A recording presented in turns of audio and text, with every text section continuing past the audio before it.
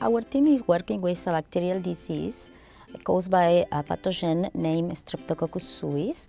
And uh, this bacterial pathogen induces uh, severe clinical signs in young piglets, that means just after weaning, and induces mainly diseases like meningitis and septicemia, leading to very serious economic, uh, economic losses to the swine industry. And it's also a serious issue, uh, health risk in Thailand uh, mainly and in other Asian countries. Uh, there is no commercial vaccine uh, to prevent infections with Streptococcus suis uh, for swine or for humans and the only way to control the disease in the field is by extensive misuse of antibiotics. So uh, our approach is actually to attack or target the armor of the bacteria, which is the capsule. So we are planning to design a capsular polysaccharide-based vaccine.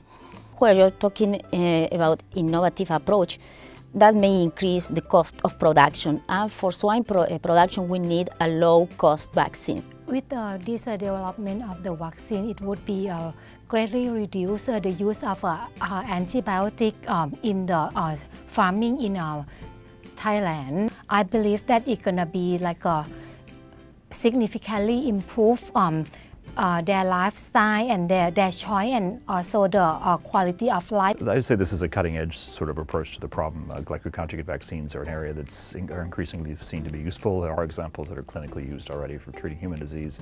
This would, I believe, be the first example of it in an animal disease. Um, and so I think that's a, an aspect of novelty to this that, that, that uh, is particularly noteworthy.